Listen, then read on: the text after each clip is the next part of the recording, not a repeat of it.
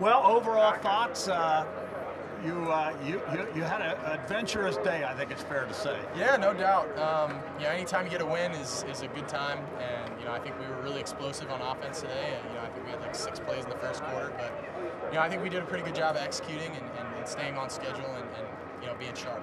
I think it's a fair statement now to say Ohio State has a running game. Absolutely. I think, yeah, if you, if you watch the last three games, I think anyone with half a brain could say that you know we got we got a heck of a running game. So. Let me ask you about that because uh, I know coach really wants to get the running game established because it will help the passing game. We saw some home runs today as you went to Emeka, uh, you, you, went to Jeremiah.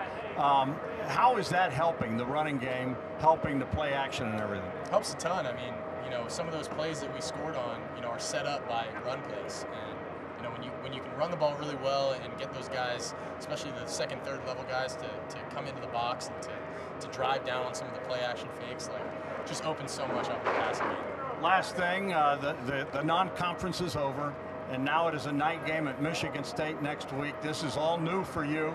You ready for this? Your expectations, and have you been asking a little bit about what to expect? I'm looking forward to it, man. I played I played a ton of away games in my career. It's just my first one here at Ohio State. Um, but I love going on the road and feeling like it's it's you and your boys versus the world. And I love that, you know, kind of back against the wall and, and kind of kind of proving everybody wrong. I, I just love that. I love that mentality and, and, going in with that. All right, do me a favor. Look at that camera. 3 and 0. Your message for Buckeye Nation. 3 and 0. See y'all in East Lansing. Let's go. Go Bucks.